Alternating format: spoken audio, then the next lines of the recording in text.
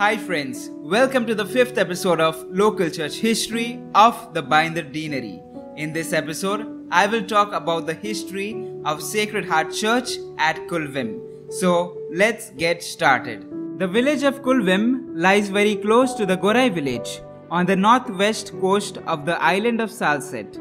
In the previous video, we have seen that the church and parish of Holy Magi at Gorai was founded sometime between 1595 and 1602.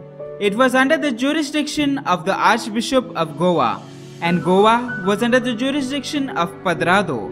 Padroado is the Portuguese for patronage, which was an arrangement between the Holy See and the Kingdom of Portugal through a series of concordats by which the Vatican delegated the administration of local churches and granted some theocratic privileges to the Portuguese monarchs. Propaganda or the Sacred Congregation for the Propagation of Faith is a congregation of the Roman Curia of the Catholic Church in Rome, responsible for missionary work and related activities. Sometime just after the middle of the 19th century, there began a movement in Gorai to pass the parish of Gorai, which was originally under the jurisdiction of the Padroado, to the jurisdiction of propaganda.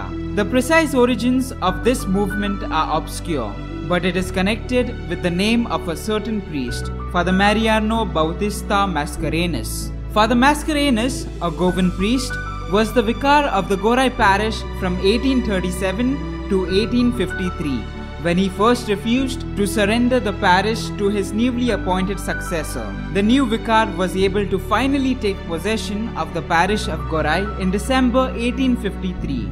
The frustrated priest then threatened to pass Gorai over to propaganda with the neighboring village of Culvem, where he had some property.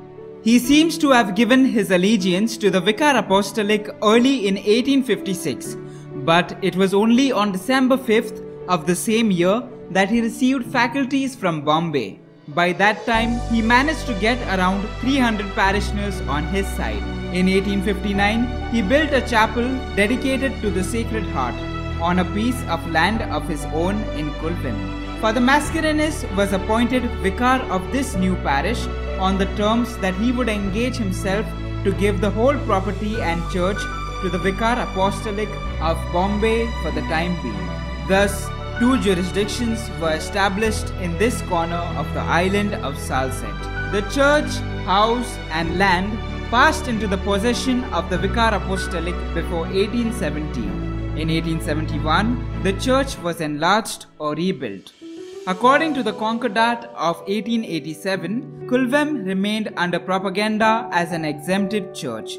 But when the double jurisdiction came to an end in 1928, Culvem ceased to be a parish and the church became filial to the older church of Gorai and has remained so to this day. The chapel was renovated in 1974. Today, Sacred Heart Church stands as a living witness of faith, hope, and charity. I dedicate this video to our beloved Auxiliary Bishop of Bombay, Bishop Dominic Savio Fernandez. I also dedicate this video to Reverend Father Aniceto Pereira, who is the rector at St. Pius X Seminary. And most importantly, I extend my heartfelt gratitude to Father Edward Jacinto for having supported me in this journey of church history. If you enjoyed this video, do leave a like, comment and share this video with your friends. Until then, have a nice, lovely, wonderful day. Take care guys. God bless.